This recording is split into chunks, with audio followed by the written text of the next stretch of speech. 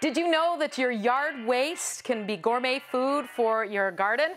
Well, I'm here in the workshop today with my engineer, Bill Searing. Hello, Kelly. Hello. And uh, did you know that there's a special recipe for compost? I did not know that. Is it a recipe that I have to eat? Not unless you like grass and leaves. I am fine on my greens. okay. Okay, well, so this is our measuring cup. I'd say a measuring bucket. Okay. Go ahead. We have grass clippings. Something people do, they like to bag their grass clippings. Well, we keep those for a compost pile, okay? Sure.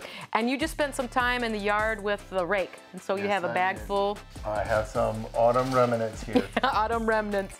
And we also have some things that we grabbed out of the vegetable garden. yep, I have some clipping for some flowers and some not so gourmet tomatoes. And another thing that we will need will be a black bag.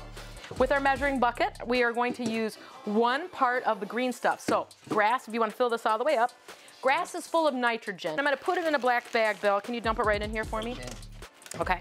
Here we go. So we had one part nitrogen, and now let's do two parts of your leaves, the brown stuff.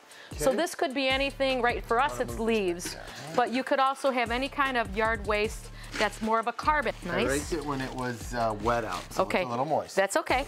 And actually, we need a little bit of water on it anyway. So there's one. what is compost without tomatoes? exactly. that's not even our special ingredient.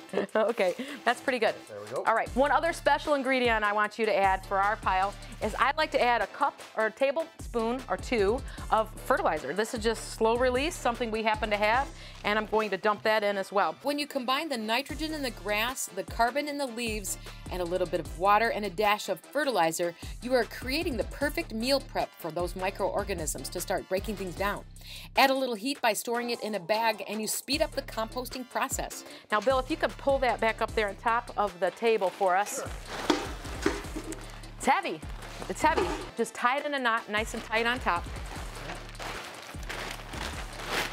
It's gonna take a couple of months for all of these ingredients in this black bag to compost down. I want you to take it out in the yard and we're gonna kick it around the yard four times a year. We're gonna do it at Thanksgiving time. You're just gonna take that black bag, kick it around for a while to tumble the things in, inside. Literally kicking? literally kick it. And then after Christmas, we're going to kick it to the other side of the barn.